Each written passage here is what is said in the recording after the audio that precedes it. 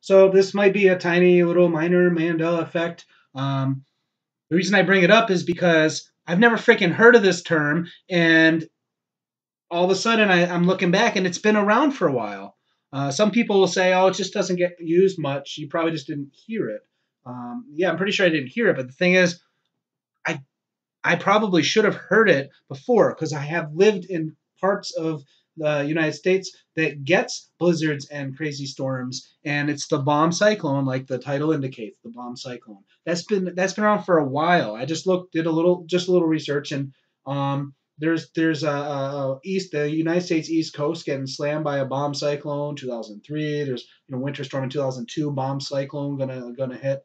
Um, so the bomb cyclone has been around for a while. That term um, um, describing a certain type of uh, weather phenomena, a certain type of storm activity. Um, but I never heard of any, never heard of a bomb cyclone ever until just this uh, winter here in uh, the winter of 2017-18. So, so yeah, um, I don't know. Anybody else remember hearing about a bomb cyclone in the last 20 years?